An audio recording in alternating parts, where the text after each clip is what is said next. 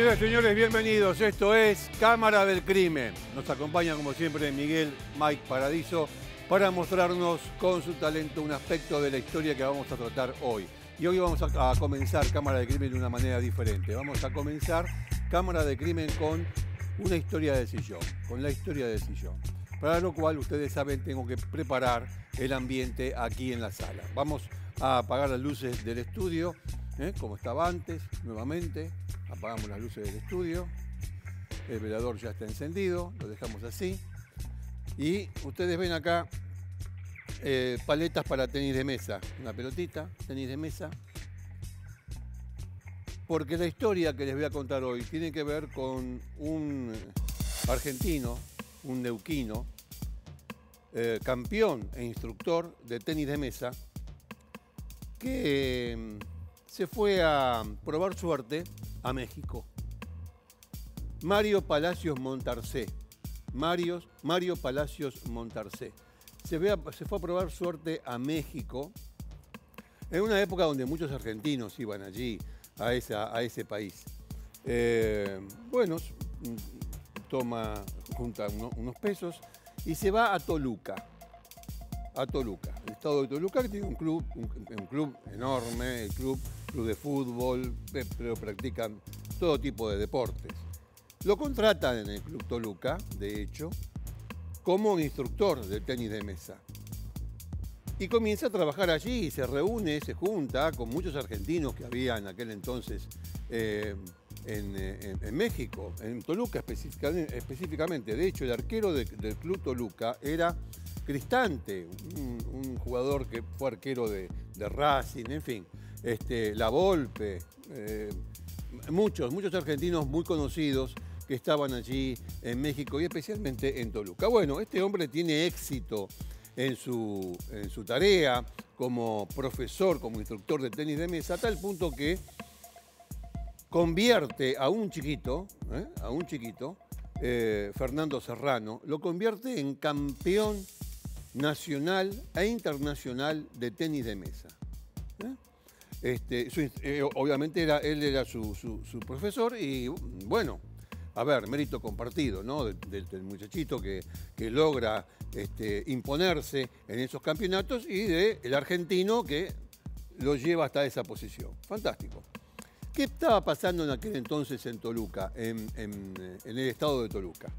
El Club Toluca estaba muy ligado con eh, Arturo Montiel. Arturo Montiel era un político muy importante de México, a tal punto del PRI, a tal punto que este Montiel tenía por delante la carrera presidencial. De hecho, muy pocos dudaban, a principios de, la década del, del 2000, muy pocos pensaban que eh, no, no lograría convertirse en presidente de México. La mayoría lo daba casi por descontado. Montiel recibe en una entrevista a una supuesta periodista francesa. Fíjese, mientras eh, Mario, Mario Palacios Montarcé, hacía su trabajo y entrenaba a los muchachos y lograba este, eh, que estos fuesen eh, obteniendo logros. Bueno, pero mientras esto ocurría, Montiel, con sus actividades políticas, recibe la proposición de una entrevista de una francesa, ¿eh? que se decía periodista freelance, que hacía notas, según ella, para Paris Match. Eh, nunca, fue, nunca estuvo claro si eso fue así. Lo, más, lo probable es que nunca haya escrito para Paris Match. Es más, lo probable es que nunca haya sido periodista. Es más, lo probable es que sea una mujer, haya sido una mujer en aquel entonces, que, eh, bueno, mm, vio como las, como se decía anteriormente, las viejas cortesanas antiguamente, ¿eh? lo que se decía de, de- las cortes. Bueno, una, chica que eh, sabía llegar a determinados ambientes, en este caso políticos, y bueno, le pide una entrevista a Arturo Montiel, de hecho futuro presidente de México, digámoslo así, para, para- supuestamente para Paris Match. Maud Versini se llama esta francesa, que en aquel entonces tenía 26 años, una chica muy bonita.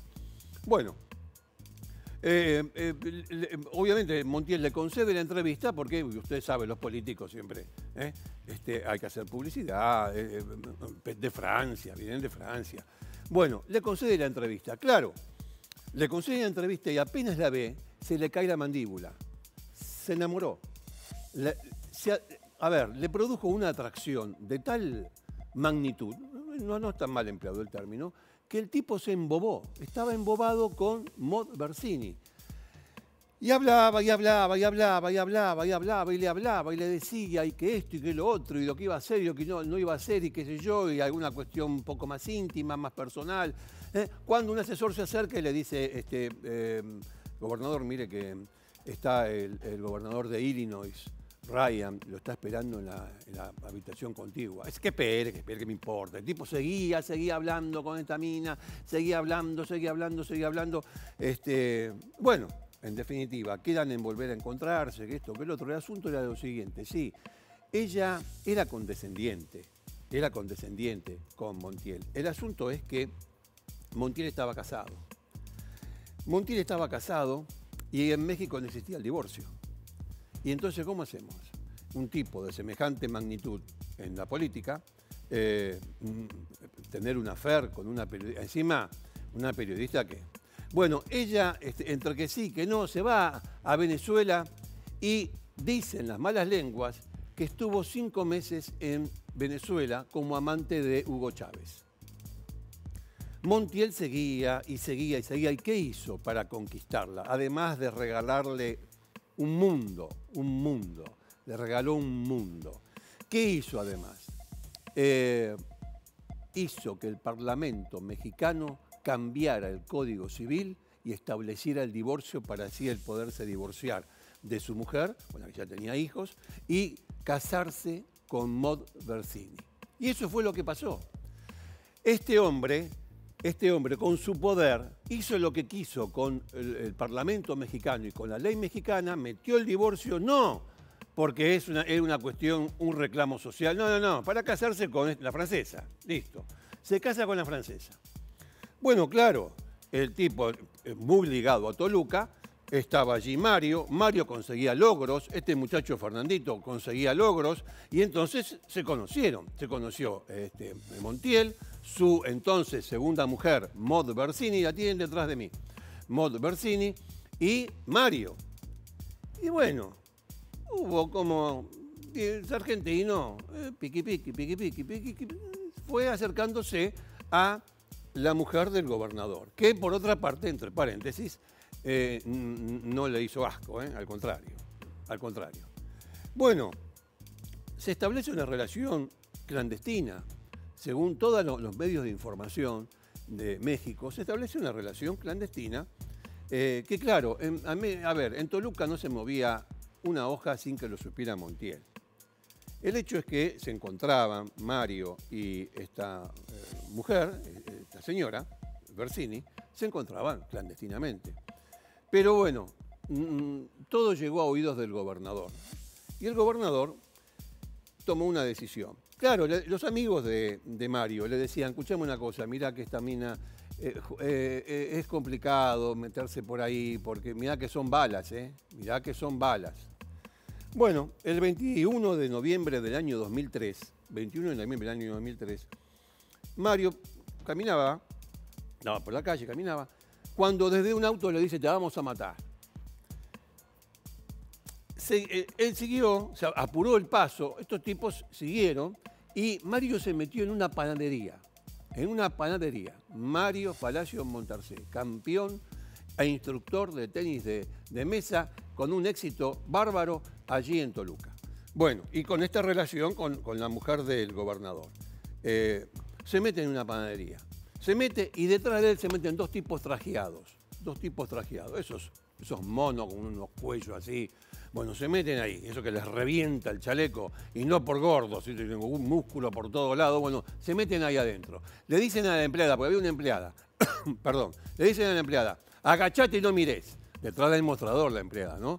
Agachate y no mires. Le empiezan a pegar con cachiporra, pobre Mario. Le empiezan a pegar, qué sé yo.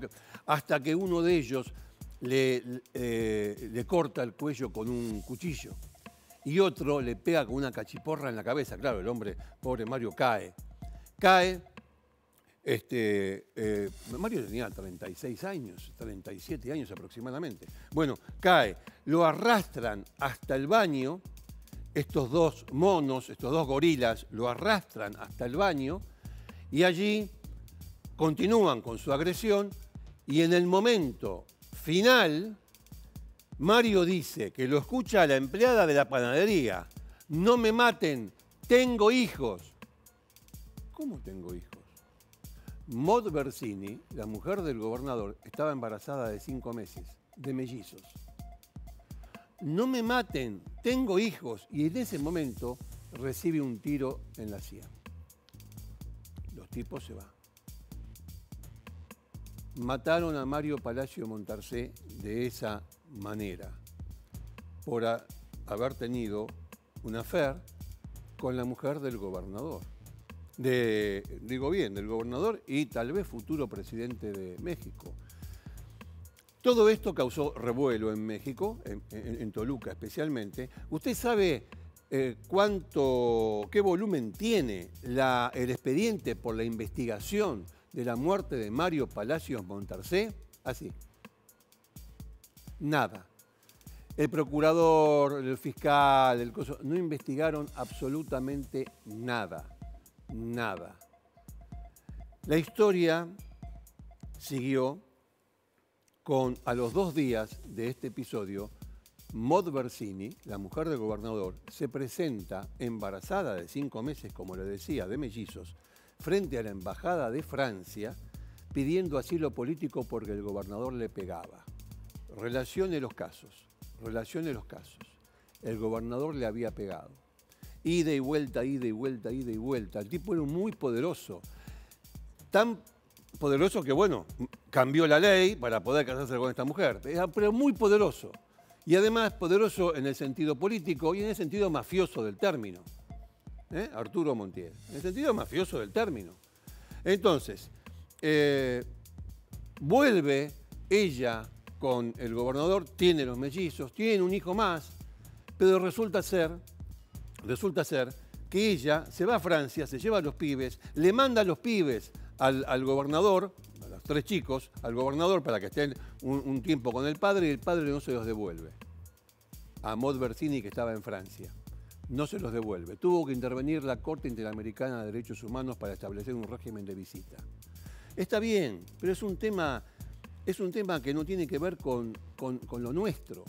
Es, una historia que tiene que ver con un político que se cagó la carrera por esto, porque no llegó nunca a ser presidente de México, cuando lo podía hacer, lo tenía al alcance de la mano, que estuvo involucrado en este crimen, que hizo cambiar una ley, que hizo que no se investigara el crimen de Mario Palacio Montarcé y que tuvo esos problemas con esta presunta periodista francesa que ahora vive en, Francia. ¿Y Mario? Mario está, fue asesinado.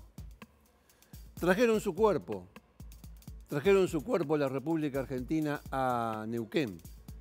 Sus familiares, obviamente, lo recibieron. Y esta historia de decisión, como es especial, va a continuar de manera especial. Yo voy ahora a encender las luces del estudio porque quienes van a hablar de Mario Palacios Montarcé son sus familiares. Síganme.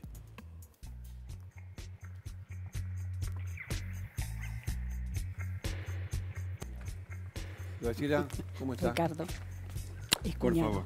es mi marido. Su marido. ¿Cómo está? ¿Qué tal? ¿Cómo está? Por favor. Sí. Bueno, entonces. Muy bien explicado. Este, gracias. Em, ¿Cuándo recibieron ustedes? Mejor dicho, ¿cuándo se enteraron lo que había pasado? El mismo día, el, gerente de Toluca, Arochi, lo llama a mi papá al teléfono. Mi papá sufría de corazón. Entonces, como lo atendió mi papá, esperó que llegáramos con mi mamá eh, de la casa de mi hermana mayor y dice, el, gerente de Club Toluca quiere hablar con ustedes, Mario tuvo un accidente. Mario tuvo un accidente. Tuvo un accidente. Ese era lo primero. Bueno, le digo a mi mamá, cualquier cosa, llamás al teléfono, vivíamos, vivíamos en un departamento, a la vecina de abajo. Cuando llego, la vecina dice, llama a tu, eh, Mónica, mi hermana mayor. Él la llamó, como no se comunicó con mi mamá, la llamó a Mónica. Y Mónica, apen- apenas llego, me dice, asesinaron a Mario. Le digo, no, capaz que es una equivocación tuya. No, no, llamó a mi tío, llamó a un doctor amigo. Sí.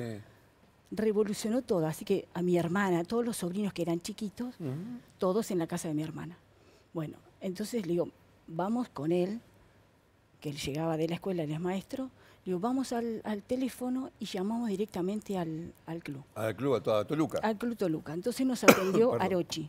Ah, dice, sí. dice, sí, hablan muy lento, así que yo le dije, soy la hermana menor, quiero saber si es cierto lo que me dijo Mónica. Y dice, no, dice, te doy con Roberto, mi primo, Roberto de Pietri. Sí. Él lo llevó al Club Toluca porque tenía un currículum muy bueno, Mario, Claro.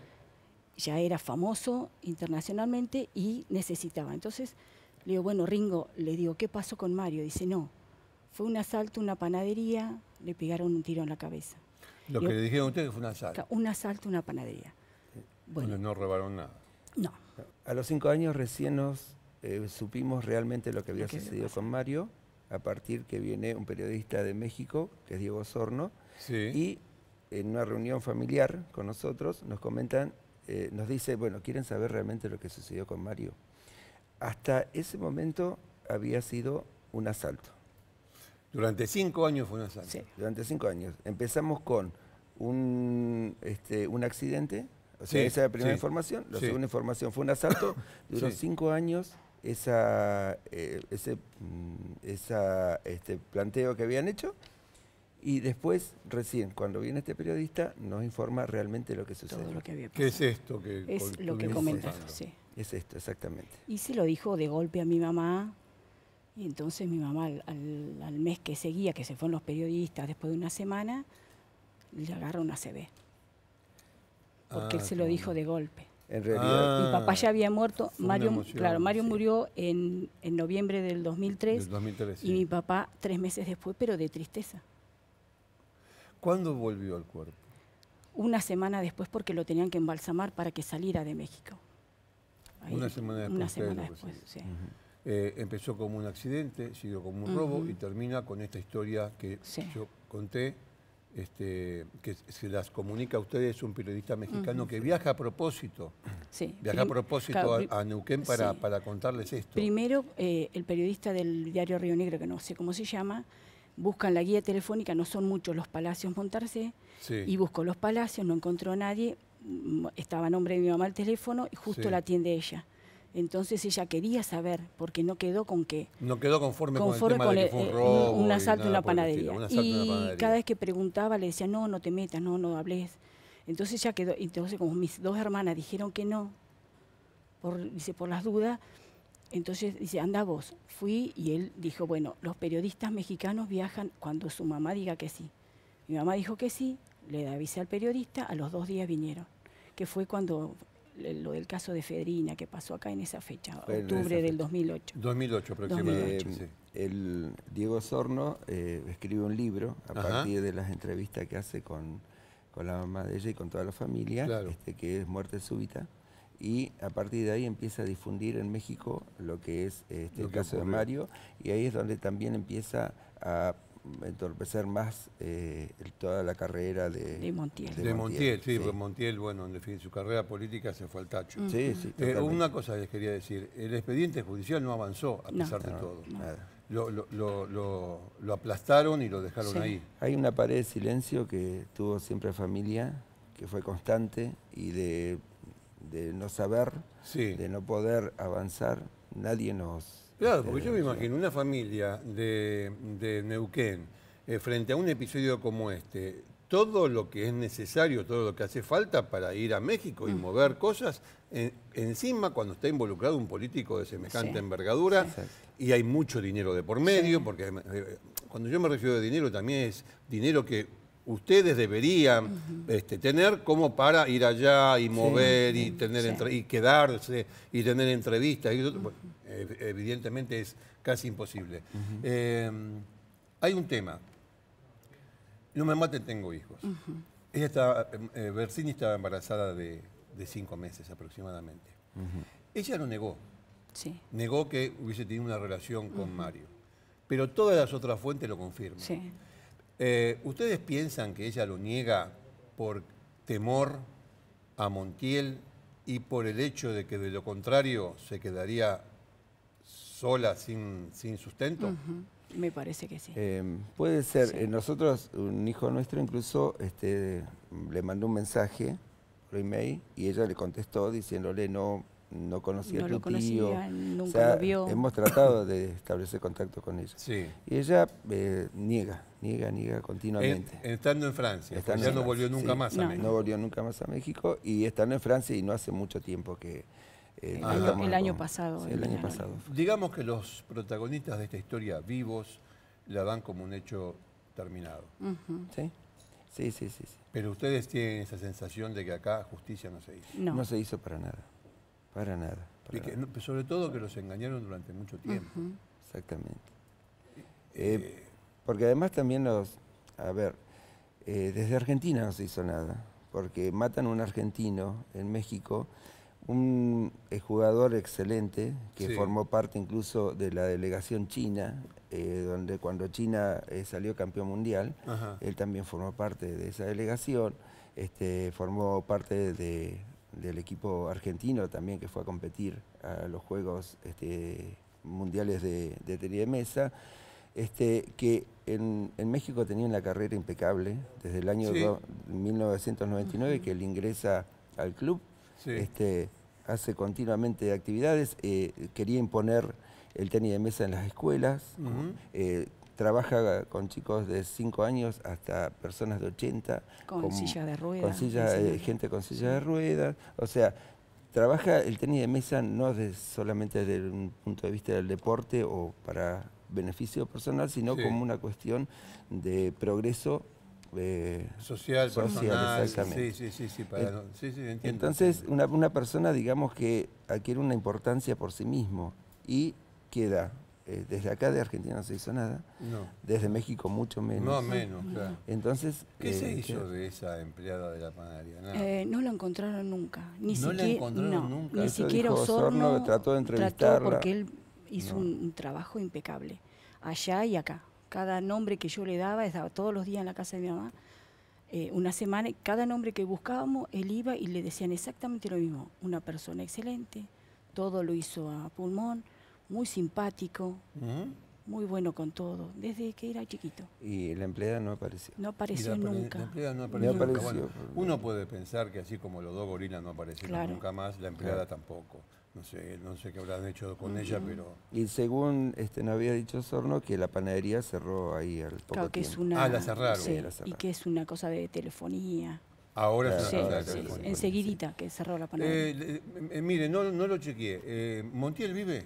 Pues debe tener setenta y tantos Sí. años. sí, porque Montiel tenía vive. 60 sí. cuando se juntó con Montiel, con Claro, Bersini. Con Bersini. Este, eh, y bueno, obviamente hay- yo sabía que había un régimen de visita entre ellos con, con relación a los chicos. Eh, es, que es un gran problema porque la, la mayoría de las fuentes, menos Bersini, y a, a Montiel no se puede ni uno ni Mm, siquiera no. acercar, ¿no? obviamente. Pero digo, este, todas las fuentes indican esto. Eh, ni siquiera un examen de ADN se puede hacer. No. De ninguna manera. No. Porque no lo va a decir. eh, Primero está fuera. Es decir, usted, usted quién es para pedir un examen Claro. de ADN. Eh, ya le, como, como, como que le ponen barreras a esa cuestión. Exactamente. Sí, sí, sí. Eh, 75 años, sí, acá me, me- me dice la producción que tiene, que tiene Montiel. Este, y que el tema se arregló, va, se arregló. Tiene un régimen de visita con sus hijos, que uno no sabe si son sus hijos Sí, o son los o hijos de de, Mario. de Mario, este, eh, recién en el año 2015, ¿eh? con, con un régimen de visita de siete meses en un lado, y etcétera. Eh, ¿Y qué les quedó de todo esto? Porque me imagino el impacto de entrada, encima con las diferentes versiones. Pero ahora que ustedes conocen la historia, En realidad lo que quedó fue una familia totalmente destruida. Destrozado. Totalmente destruida, una familia totalmente golpe, unida que, morir que uno. era eh, estaban los tíos, las abuelas, todo, y no quedó nada. O sea, estamos cada uno por su lado, digamos. Este, los papás de ella este, fallecidos. Sí. Este, y eh, primero un sabor amargo porque no, no podemos, podemos hacer eh, nada. ha- hacer justicia. Y después eh, la no reivindicación de lo que fue Mario, porque realmente fue una persona excelente. Y que Mm. muchas veces en la falta de valores que tenemos cotidianamente, digamos, reivindicar a una persona como él este, sería importante. Eh, una persona excelente desde muchos puntos de Sí, vista. sí, entiendo. Es una persona totalmente respetuosa. Jamás, eh, a- nosotros nos conocimos cuando yo tenía 15 años, Mm, cuando empecé a hacer Empezamos a de novio los Y 15 Mario, y Mario 11 tenía años. 11. Ah, mm. Jamás eh, en la vida lo escuché hablar sobre una mujer, falta de respeto a alguien. sí, sí, sí. sí. Este, De la jamás lo- lo noche con- hablaban con el periodista que de la noche era un- no era de tomar, no, Jamás no tomaba, no fumaba. Siempre de hacer amigos, de, Eh, de siempre que hagan deporte. Sí, sí, sí, sí, sí, Siempre sí, eso, ese palo. sí. Y optimista, total. Y continuamente eh, luchando para lograr sus objetivos. Y sus objetivos eran co- objetivos colectivos, trabajar para los chicos, trabajar Sí, para la gente entiendo. Que mayor. los chicos hicieran deportes. Entonces, eh, también ese, hay un sabor amargo ahí por debido a que Mario se termina olvidando, digamos, y, y es terrible que suceda eso. digamos, No, obviamente. Bueno, es un caso sin investigar. Eh, Es un caso que no está en agenda. Que yo le diría que nunca estuvo en agenda, eh, por lo menos en Argentina. Eh, alguna que otra nota perdida por ahí, puede ser que uno encuentre alguna referencia, pero en realidad yo lo quise traer porque, bueno, conocí la historia, me pareció una barbaridad, todo lo que ocurrió me pareció una barbaridad este, que se usara el poder de esa manera y sobre todo el hecho de que ustedes, yo los encontré a ustedes hace muy poco en Neuquén, sí. cuan- cuando, hice un viaje a Neuquén, este, el hecho de que la familia, ustedes de hecho, eh, no, no pudieran tener eh, la posibilidad de que se investigue y algo de luz sobre lo que pasó. Eh, eh, hablar de castigo a los culpables, bueno, por lo menos, por lo menos en Argentina está claro que este Montiel es un mafioso, que Mod Bersini era, uno, era, no sé ahora en qué andará, un oportunista, este, y que en el medio de estos dos personajes vino a caer Mario, seguramente de- con una cuestión, nada, de relaciones humanas, eh, como se puede dar en cualquier, cualquier otra circunstancia. Este, pero, de- pero que este final quede así, porque no se puede agregar más a este final. Es esto, es esto y lo que acaban de decir ustedes, de lo que ocurrió, el impacto que se dio en la familia, que bueno, este, eh, lo sufrieron de, de esta manera. Em, ¿Cómo terminar esto? Diciendo, bueno, ojalá que se investigue. No, no, mire, no se va a investigar. No se va a investigar, ya está. Lo, lo aplastaron y se terminó. Se terminó el tema. Em, vale la. A veces la reconstrucción histórica también es importante. Porque aunque parezca mentira, esto, este, este programa lo ven en, en todas las provincias argentinas, lo ven en Neuquén. Bueno, que sepan lo que pasó con, con- con este muchacho, ¿eh? con este campeón de tenis de mesa. Que sepan lo que pasó y que sepan lo que le costó a la familia y lo que le costó a él. A él le costó la vida. ¿eh? de- de- de- por meterse con estas, con estas personas. Pero meterse, meterse de, un- de la manera social, de la manera humana, como lo haría cualquier otro. Eh, no hay final para esto. Esta es la historia. Eh, ellos van a, van a seguir con ese sabor amargo, lamentablemente, y, y nunca se va a saber la verdad. Mejor dicho, la verdad judicial, porque la otra verdad, la verdad histórica, ya la contamos. Es esto que contamos. La verdad histórica es esa. Yo les agradezco mucho que hayan venido desde Neuquén, vinieron a propósito desde Neuquén. Este, yo les había dicho que los quería en Cámara del Crimen, que quería contar el caso de Mario Palacios Montarcé, este, que no- para mí está en mi agenda ¿eh? y en consecuencia está en la agenda de Cámara del Crimen. Y, y cada vez que se pueda, eh, lo- eh, es una referencia, ¿eh? una referencia, es un caso referente. Eh, gracias. No me No, queda más que decirle gracias por haber venido y, y contado esta experiencia que, que, bueno, es, es muy fea, ¿no? Sí. Es muy fea. Sí, sí. No, gracias eh, a vos porque nos permitís también de que esto se sepa. Porque Sí. eh, un poco también sacar algunos ladrillos de esa pared que nos han no han puesto. Es eso, como, como la canción de The Wall. un- eh, le- les hicieron, le metieron una, una pared en- ahí adelante y no pueden sacar los ladrillos. Es, es así, está, está muy buena la figura. Gracias a los dos. ¿eh? Gracias a usted. Eh, Nosotros vamos eh, a cambiar de tema. Vamos con un caso misterioso, un crimen misterioso después de esta barrida.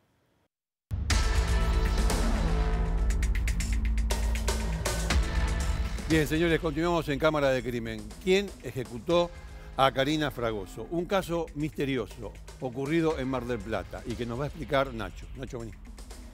Hola Ricardo. ¿Qué haces? ¿Cómo y estás? es, es el caso de la semana, te diría. ¿eh? Y es Sí, uno ¿no? de, los, de los casos que nosotros hemos hecho eh, históricamente con muchísimos detalles. A ver, Con muchísimos detalles.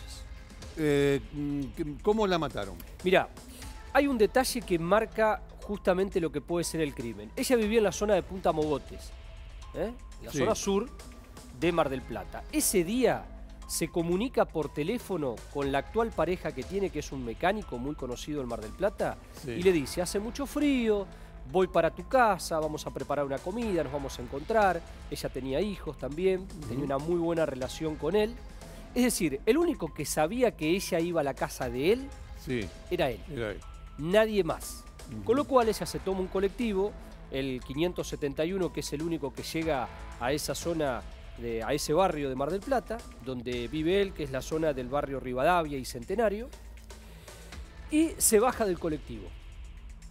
Eran las siete y pico, casi las 8 de la noche, ella tenía que caminar unos 300 metros hasta la casa de él, Sí, pero al caminar entre 30 y 40 metros, ahí nomás. sucede algo que vamos a ver en un video, que es el único elemento que en este momento tiene el fiscal Arevalo y también que tiene la DDI de Mar del Plata. Mirá cómo baja ella.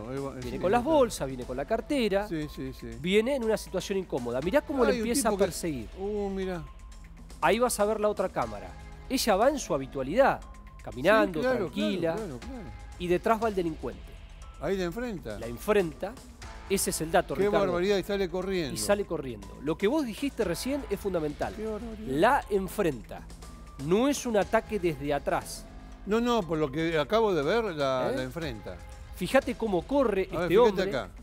Sí, no, viene corre. corriendo el tipo para a- alcanzarla antes de que llegue a su destino, obviamente. ¿eh? Pero ves, como ella se da vuelta ahí en ese momento. Y quedan cara a cara. Sí, sí, sí. Fíjate los pantalones de él, fíjate las zapatillas, fíjate la forma de correr.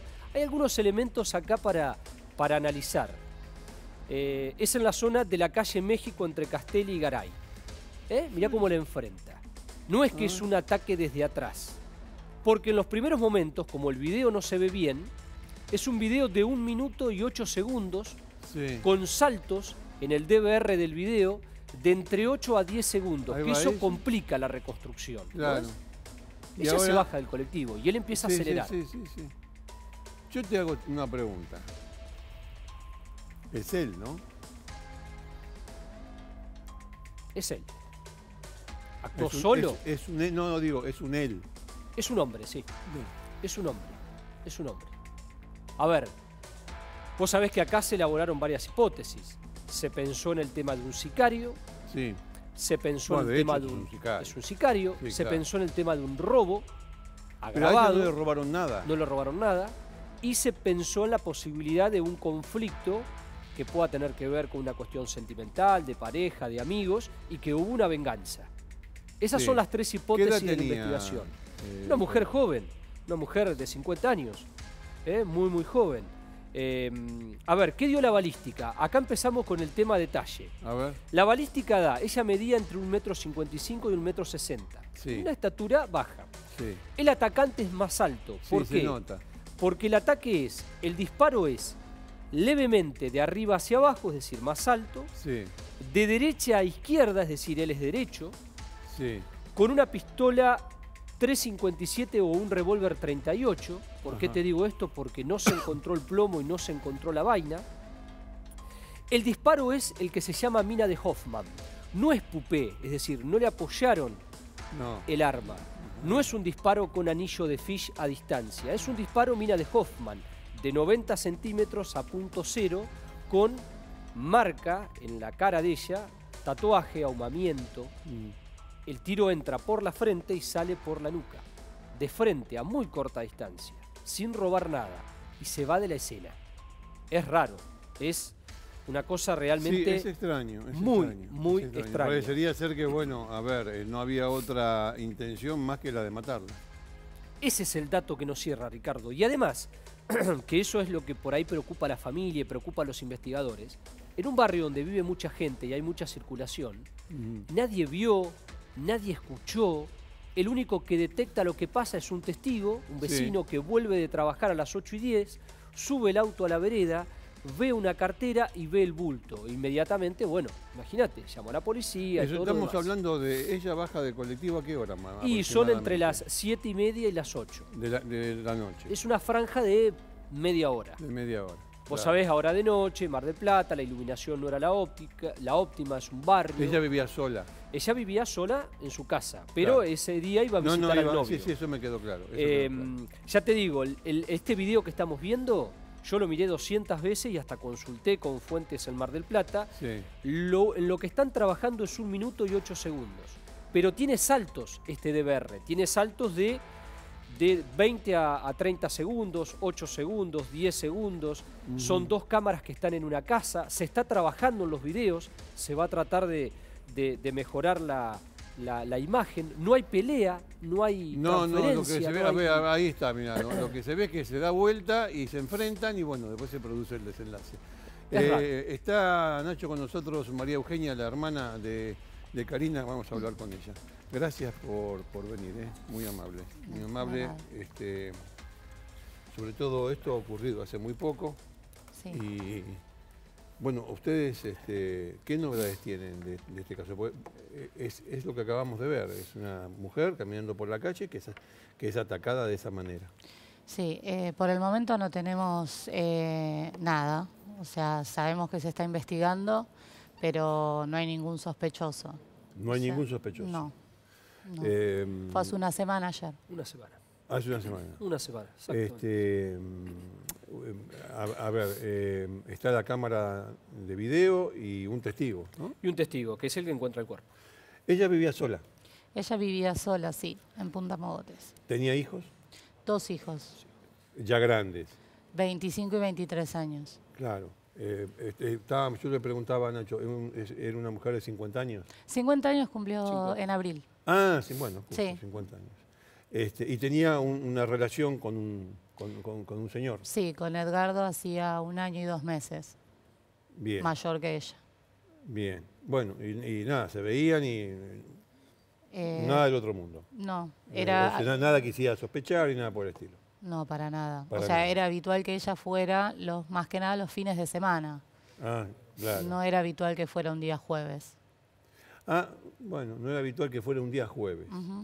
Lo arreglaron de hecho ese mismo día de verse. Ah, mira, mira. Bueno, Eh, Qué tema, ¿no? Las relaciones, eh, María Eugenia. Sí. Ella había tenido un ex marido, Sí, un ex novio que era compañero de trabajo Sí. de ella en un, en un lugar donde ella trabajaba, donde cuidaban abuelos. sí, y, ahora, y ahora la actual pareja Sí, mecánico. ¿Ustedes tienen algunas sospechas? Yo sé que los están investigando a los tres. sí. eh, no, la realidad que no. O sea, ella no tenía mala relación. O sea, se había divorciado, como toda pareja se divorcia, separa sus bienes, pero no tenía mala relación, ni tampoco con, con su anterior pareja antes de Edgardo. O sea, nada, se cruzaban en el trabajo, pero eh, nada, no, no teníamos ningún indicio de que ella tuviera algún malestar por alguna expareja este, o, o algún tipo de hostigamiento. Mi hermana era de, de contar absolutamente todo de su vida. No había nada que la preocupara. enemigos No. No, por ningún motivo. no. Ella no debía plata, no le debían. La relación con eh, su última pareja era buena, me dijiste. Sí, Era sí, buena, sí. no había, Muy eh, compañero, sí. no sé, yo pregunto, ¿de, de deudas? No, No. no. ¿De qué trabajaba? Ella era cooperativista Sí.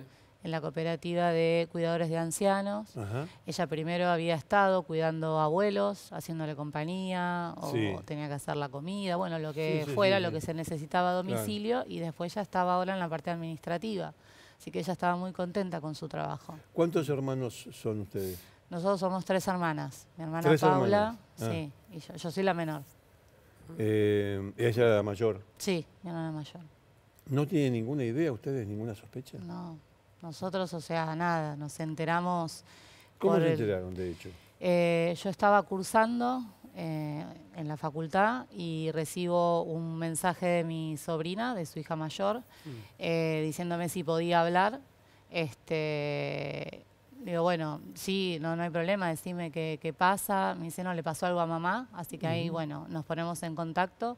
Me dice que estaban en el hospital intersonal, que mi hermana tenía una herida muy profunda en su cabeza este, y que estaban esperando los resultados de la tomografía, que estaban esperando al, al neurólogo. Sí. Eh, eso es todo lo, lo que me dice. Este, no, hasta ese momento no sabíamos no, cómo había pasado, si, si se había caído, o sea, por qué tenía esa herida profunda. No sabían que era un balazo. No, no, ah. no, para nada. Eh, quedamos en volver a hablarnos en un rato para tener novedades. Yo ahí me pongo en contacto con mi hermana Paula para avisarle lo que estaba pasando. Hasta a mis padres no le íbamos a avisar nada hasta no saber un poco más Sí, sí. qué es lo que había pasado con Karina. Y a la hora nos volvemos a comunicar y ahí es donde mi sobrina me dice que bueno que mi hermana había fallecido. Vamos a escuchar este, a un minuto al fiscal del caso que decía esto. La víctima, eh, obviamente, no, no- nos obligó a conocer un poco más de ella eh, y llegamos a, a- a vislumbrar una persona de clase media con una familia em, de la cual había se había separado, pero que tenía vínculos con el exmarido, con los hijos, em, trabajadora, em, sin ningún tipo de eh, indicador a la vista de elementos que la puedan llegar a poner en el ojo de un sicario o de alguien que vaya a hacer un crimen por encargo. De momento no surge nada. Y entonces se vuelve a reforzar una idea de que quizás eh, estuvo en manos del ladrón equivocado, de la persona que no sabía manejar armas, así que se abre un abanico de causas sobre las cuales nosotros investigamos y que a partir de, los datos del video y de la gente que se suma a colaborar o a comentar eh, visualizando el video, mm, nos va a permitir a nosotros avanzar en el caso. Bueno, esperemos que así sea, que se avance en el caso, porque hasta ahora son todos este, interrogantes, Sí, todas Sí, incertidumbres. tenemos muchas preguntas y ninguna respuesta. ¿Cómo se trabajó en la escena? Porque vos sabés que una de las cosas básicas en cualquier investigación criminal es la preservación y el trabajo en los primeros momentos de la causa. ¿Cómo Sí. trabajaron? Eh, mira, yo hablé con la persona que aportó las cámaras, Sí. que se puso en contacto conmigo el día lunes. Eh, él me cuenta a la hora que la encuentra a mi hermana, porque él tenía que ingresar su, su vehículo y encuentra a, a una mujer tirada. Sí, sí. Eh, eso fue alrededor de las 8 y 10 de la noche. Eh, en ese momento ya empiezan a comunicarse con el 911. Eh, al no tener respuestas, van hasta la comisaría cuarta, que es la que está este, a dos, tres cuadras de- del lugar, Mm. avisándole que había una mujer tirada en la vía pública con un charco de sangre. El, el oficial que la tiene en ese momento le dice que sigue insistiendo en el 911 y después empiezan a llamar al 107 porque todavía no tenían este, ningún tipo de respuesta. Y el tiempo pasaba. El tiempo pasaba, no se hizo presente eh, hasta ese momento ningún móvil policial. Eh, sí me comentaron que había tres prefectos, este, nada más. Y la ambulancia recién viene, una ambulancia de Vital, eh, viene a las 8 y 46 eh, con código rojo. Recién ahí aparece una Pero ambulancia. pasó mucho tiempo. Mucho tiempo, Sí. Ricardo. Sí. Además no entiendo por qué el 911 no respondió. No, llamó, o sea, me- o sea, él dio la declaración y dijo, eso está consta en el expediente, o sea, estuvimos llamando, yo llamé tres veces, me dijo. Y después alguien dijo, llamen al 107, Sí. este, porque es una urgencia, y bueno, ahí acudieron. Recién ahí, Sí, eh, la, la- la- la ambulancia. sí, Eh, mi hermana estaba con vida. No, ahí, ahí Claro, porque bueno, Sí, en definitiva fallece en el, En, el, hospital, ¿no? intersonal, sí, a las- alrededor de las 23 horas. Mirá, Ricardo, me agarro un poco de tu experiencia. Yo estuve averiguando ahí la zona de ese barrio donde ella iba. Ella lo dijo, la comisaría está a 300, 400 metros. Eh, me dice que esa zona es de gente que es delincuentes que hacen hurtos, robos, robos agravados con armas, con cuchillos, mucho delincuente oportunista que ataca gente en las paradas de colectivos, a los taxistas, a los transportes, que hay mucha zona de drogadictos. Ahora, si pensamos en la hipótesis de un robo, la policía que está ahí en la zona, ¿no puede conocer a este tipo? ¿Eh? Las brigadas que están permanentemente en la calle, ¿no podés identificar a este si tipo? se trata de un tipo de la zona y se trata de un robo, eh, sí, sí, la, la- la, eh, la pregunta es válida. Ahora, si es otra cosa, va a ser mucho más difícil. Es más difícil. Si no, si no fuese de ahí, de la zona y demás, este, me llama mucho la atención las zapatillas del tipo. Sí. La forma de correr, Me, me llama, me llama mucho la atención. Pero bueno, este, nada, es como para ponérselo a... No tenía, eh, eh, a ver, eh, como generalmente, lo- tal vez te lo habrán preguntado, no tenía ningún secreto tu hermana. No, no, nosotros éramos eh, muy unidas, teníamos un chat eh, de hermanas y, era muy común que ella por lo general era la que siempre iniciaba las conversaciones. Sí. Ella, bueno, obviamente al estar toda su familia, o sea, sus padres, o sea, viven, viven acá en Capital, nosotras también, siempre era una conexión y siempre, o sea, cualquier estado que ella tenía, o ¿Ustedes sea, son, era de son de manifestarlo. Mar del Plata? No, somos de Capital. Ah, son de Cap- Ella fue- va a, a- a Mar ella del se va Plata. así, hacía 27 años ya que vivía en Mar del Plata. Ah, hace mucho tiempo. Sí, ya hace Ah, mucho tiempo. ah, Pero ah. ella era de Capital, sí, sí, sí. Ah, yo pensé que ustedes de ahí, de, de no, no, nosotros somos de Capital, ella también. Sí, a los sí, sí, 23 sí. años se va, conoce a su marido Y, y, se- con- con- eh, forma, su familia, allá. ya, eh, ya, sí, ya- es ya- correcto. ya entiendo. Sí. Eh, bueno, este... están revisando, Ricardo, los sí. teléfonos, las computadoras. sí. ¿Ella había tenido una pelea con una amiga hace más o menos un año y medio, con una muy, muy amiga? Eh, en realidad ella sí era muy amiga y Mm. bueno, esta, esta mujer eh, le dice, ¿por qué no venís a vivir a casa? Así compartimos el, el alquiler, porque en ese momento ya estaba en, bueno, en todo ese periodo Mm. de, de divorcio eh, y ella estaba alquilando en otro lugar. Bueno, accede por un tema de este, compartir, este, más que nada el alquiler y bueno, o sea, se llevaban bien. Y bueno, ella sí nos manifestó que como que su amiga había cambiado su, su forma de ser, como que molestaba la presencia de, Karina en su casa. Y mi hermana se termina yendo. Y alquila por su cuenta. Alquila por su cuenta. Sí, ya en ese momento lo conoce Edgardo, Ah, así ah. que, o sea, convive un tiempo hasta que ella se compra su casa. ¿Y puede haber quedado alguna, alguna situación ahí? No, ella, o sea, en ese momento me acuerdo que nos decía que había pagado, o sea, el alquiler, hasta parte de los servicios. Es una cuestión de, con- de convivencia. de convivencia, y- o sea que, que, bueno, no, ella no entendía un poco por qué esa, esa amiga había cambiado tanto, Claro. este, como que le molestaba que ella estuviera ahí, este, así que eh, nada, pero ¿A no usted qué hubo les ningún parece? causa. ¿Les parece robo esto? ¿O tiene alguna sospecha más grande, Eh, como dice Ricardo? Eh, que ahí hay algo. Nosotros queremos, o sea, obviamente creer que fue un robo o que ella estuvo en un momento y un lugar equivocados, sí. En un momento y en un lugar sí, equivocado. sí, totalmente, Mm. sí.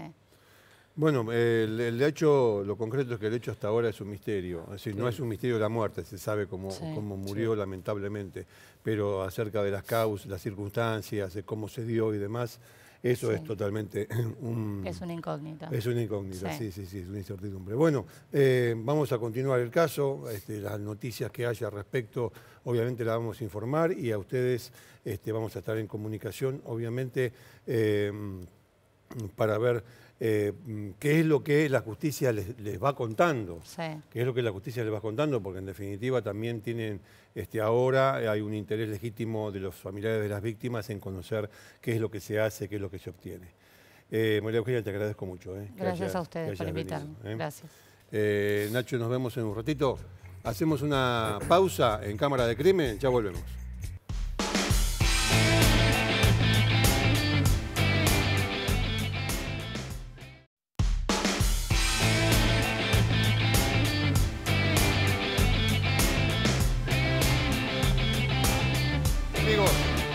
Continuamos ya en la parte final de Cámara de Crimen, así que vamos a ir a ver a Miguel a ver eh, qué es lo que su eh, mirada captó de las historias que contamos hoy. La historia esta de, Ah, de, de Palacio. De Palacio Montarse. Sí, señor. Ah, mira, eh, fíjense ustedes, ¿eh? el momento en que, ahí está, el momento en que es asesinado ¿eh? En la panadería. en la panadería, exactamente. Ahí lo tenemos. Eh, la mirada de Miguel Paradiso sobre este caso, que es de nuestra agenda. Sí, esta es mi mano. Es de nuestra agenda. ¿eh? E- Este caso. ¿eh? Bien. Lo, lo voy a firmar, ya que lo... Ah, sí, por supuesto, por supuesto. Dale, Miguel. Ahí está. Muy bien. Muy bien, listo. Bueno, muchísimas gracias, No, Mike. Ricardo, Nos vemos la, la semana que viene. un gusto. Nachito. Gracias, Ricardo. Nos vemos la semana que viene. Bueno, amigos, este 22 de septiembre y 6 de octubre, domingos a las 19 horas, impacto en el Picadilly. Eh, nada, eh, lo- nos vemos eh, la semana que viene. Ci vediamo fra una settimana. Eh, arrivederci.